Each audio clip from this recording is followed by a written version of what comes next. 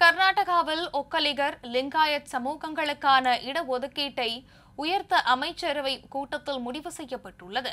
கர்நாடக முதலமைச்சர் பசவராஜ் பொம்மை தலைமையில் நேற்று அமைச்சரவை கூட்டம் நடைபெற்றது.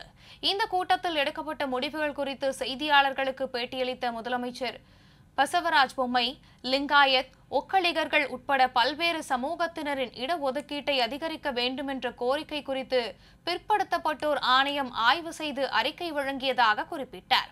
அதன்படி ஒக்கலிகர்களுக்கு ஆறு சதவீதமும் லிங்காயத் சமூகத்தினருக்கு ஏழு சதவீதம் இடஒதுக்கீடும் வழங்குவது என்றும் தீர்மானிக்கப்பட்டுள்ளதாக பசவராஜ் பொம்மை தெரிவித்தார். விரைவில் சட்டப்பேரவை தேர்தல் நடைபெறவுள்ள நிலையில் கர்நாடக அரசின் இந்த அறிவிப்பு முக்கியத்துவம் வாய்ந்ததாக கருதப்படுகிறது.